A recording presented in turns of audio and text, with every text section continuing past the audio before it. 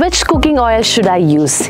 You probably asked this question at least once in your life. So here are 5 healthy oils you can use. But before that, don't forget to like, share and subscribe to Health Leads. Number 1. It is termed the healthiest cooking oil because of its numerous health benefits.